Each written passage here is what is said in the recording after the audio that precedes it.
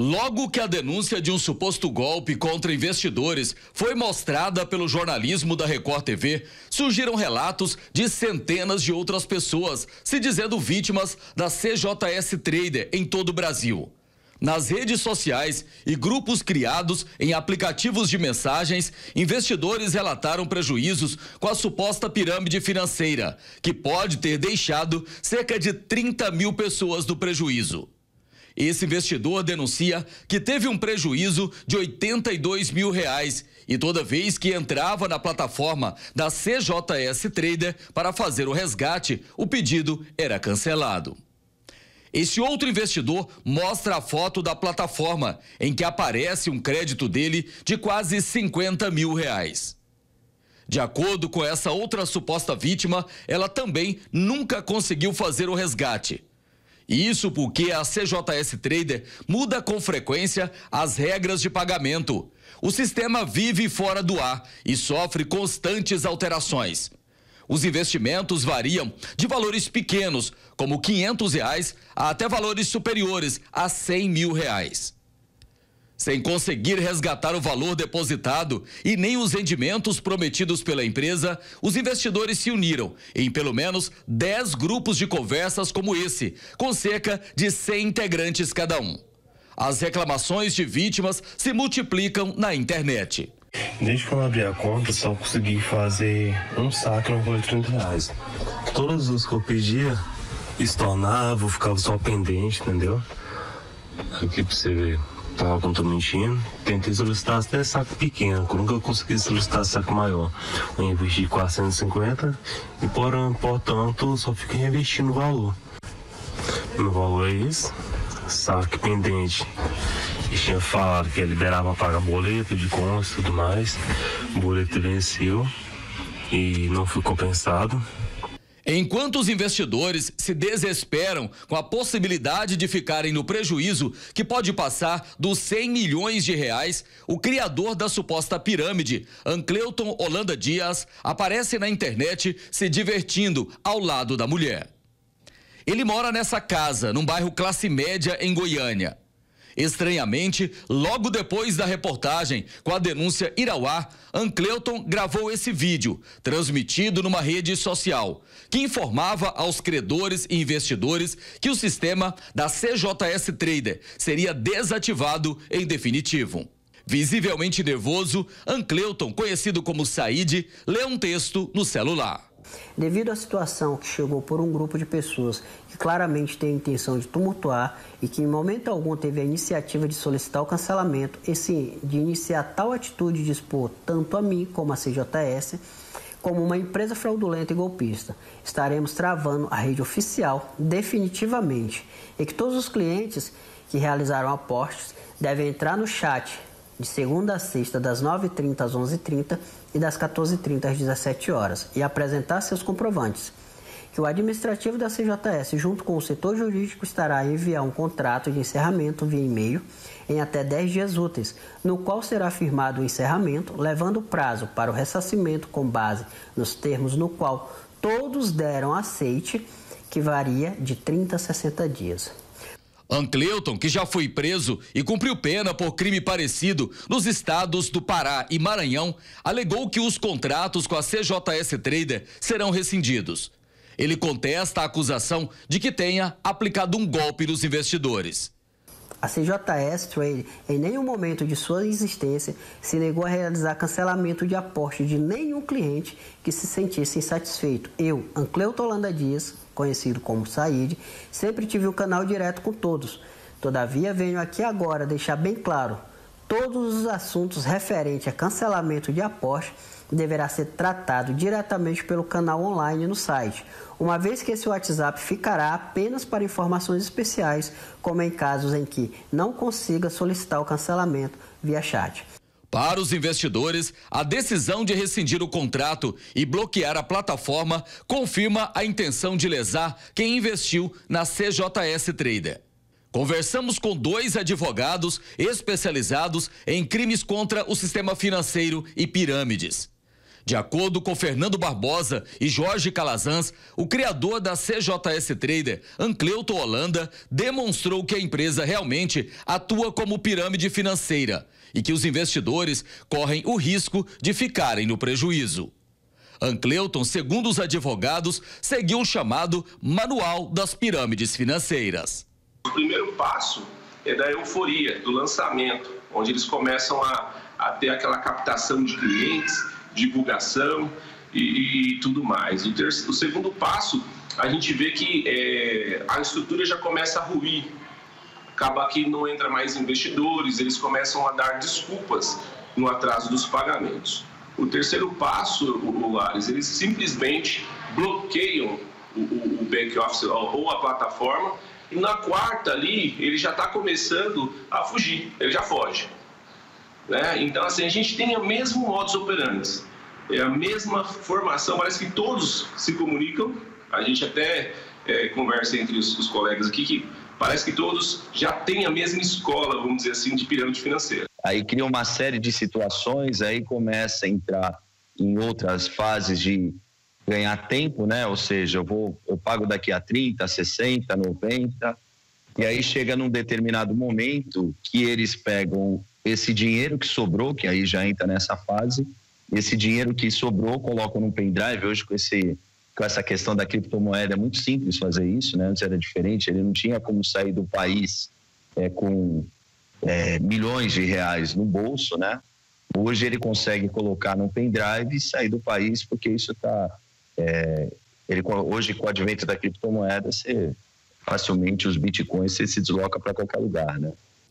Criada em Goiás, depois que Ancleuton saiu da cadeia no Maranhão, a CJS Trader atraiu os milhares de investidores com a promessa de rendimentos milagrosos.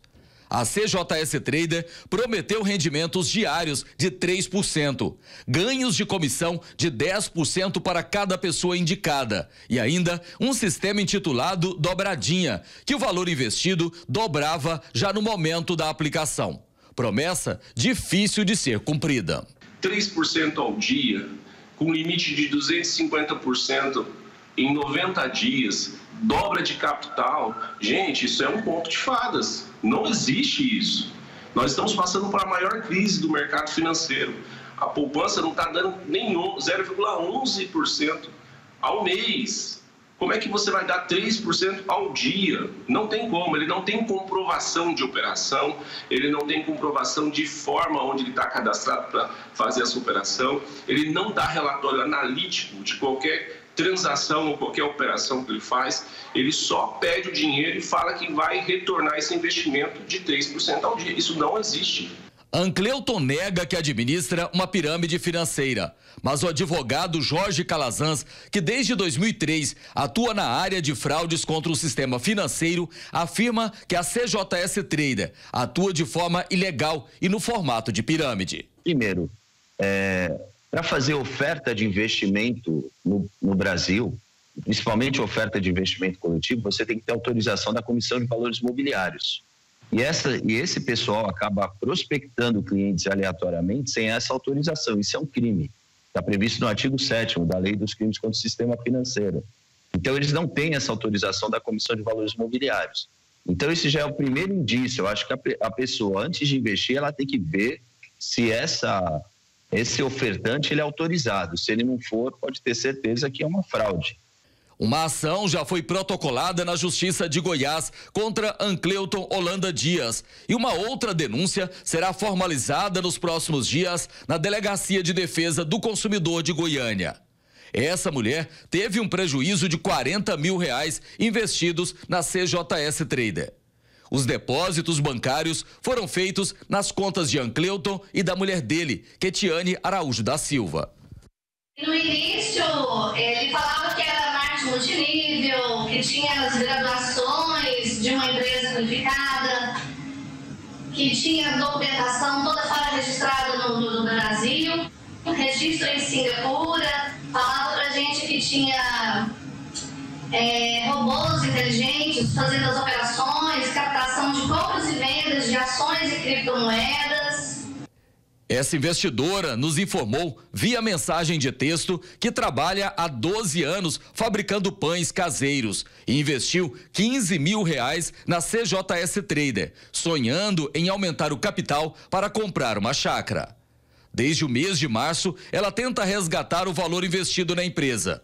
Essa outra mulher, também via mensagem de texto, mostra que tem quase 14 mil reais para receber da CJS Trader. Ela diz que sempre desconfiou do negócio, mas o pai acabou fazendo o investimento. Os investidores temem que Ancleuton faça com eles o que ocorreu nos estados do Pará e Maranhão, em que ele acabou preso por enganar centenas de pessoas que acreditaram nas empresas abertas por ele. Como eu conheço bastante pessoas, eu comecei a fazer rede na com indicação ganhando os bônus.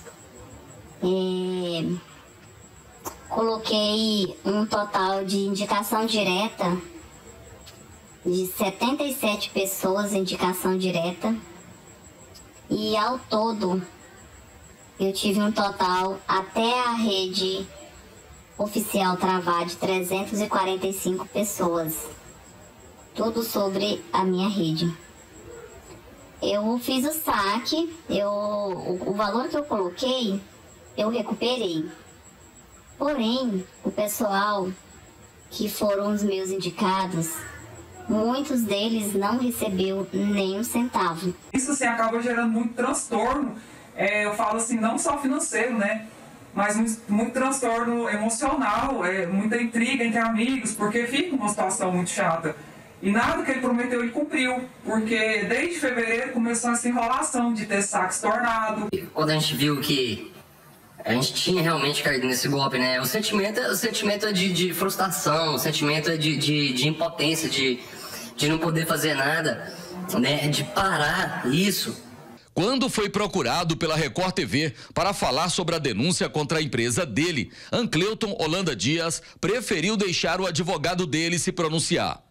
Apresentado como diretor jurídico da CJS Trader, o advogado admitiu que a empresa enfrenta problemas financeiros. Existem pessoas no grupo, da, ou existiam pessoas que faziam parte da cúpula do, da CJS e ela, essa cúpula então ruiu. Ela se desfez por problemas é, internos, particulares entre, entre os sócios aí na época e esses sócios que na época é, fizeram a ruptura dessa cúpula, eles então é, se aventuraram em fazer é, uma outra empresa, tá? A CJS, ela tem a sua inscrição no, na junta comercial, ela está toda legalizada e ela atua, é, a atividade da JS, da CJS, ela é consubstanciada em operações de, envolvendo é, bitcoins, né? é como se fosse ações. Né? Diante das novas denúncias feitas por investidores da CJS Trader, voltamos a procurar Ancleuton Holanda Dias. Pedimos para fazermos uma entrevista, mas ele preferiu responder nossos questionamentos através de mensagens de texto por um aplicativo de celular. Ancleuto informou que o sistema que será travado não será o da CJS Trader, mas de uma plataforma chamada CM, que ele estaria organizando. Por isso, ele optou por desativar a plataforma em definitivo para iniciar o cancelamento.